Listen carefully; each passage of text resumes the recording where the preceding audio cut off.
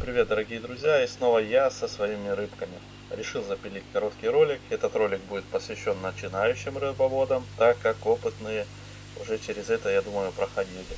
Столкнулся я с проблемой, моя рыбка активно росла до определенного момента, пока не стало ей мало кислорода, и у меня начали отлетать каждый день по одной, по две рыбешки в день. Я сперва начал делать тесты воды, мониторить, думал, может pH проскочил там, нитриты, нитраты, ну все оказалось в норме. Я стал мониторить просторы интернета и наткнулся на информацию, что посадка на куб должна быть примерно от 30 до 40 ну, килограмм форели в лучшей так форме. Поправьте опытные рыбоводы, если что не так говорил.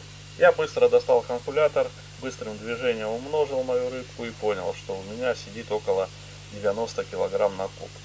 Рыбка перестала кушать и стала неактивной. В связи с тем, что у меня нет дополнительных емкостей, куда-то можно было отсадить это все дело, мне пришлось выловить немного рыбы, чтобы снизить вес посадки.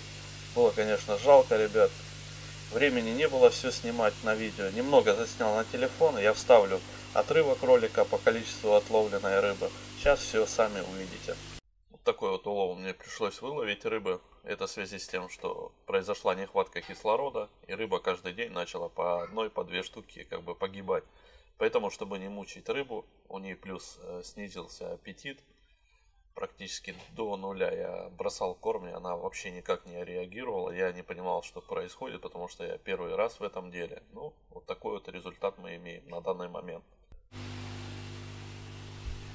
Вот такой результат и горький опыт я получил Хотя я сейчас осознаю, что рыба меня начала где-то за неделю-полторы предупреждать, что что-то не так происходит в системе. Она слабо кушала корм и плавала поверху, открывая рот. Но я решил, что я промыл систему и вода мутной стала, а как оказывается это был первый звоночек, что рыбе не хватает кислорода. Поэтому начинающим рыбоводам советую, если форель неактивно кушает корм, то надо мониторить, что что-то не так происходит в системе и предпринимать какие-то действия. Вот такой я получил горький опыт. Будем двигаться дальше, будем модернизировать систему. Всем желаю предновогоднего настроения. А я с вами на этой ноте буду прощаться до следующего ролика. Всех обнял. Всем пока-пока.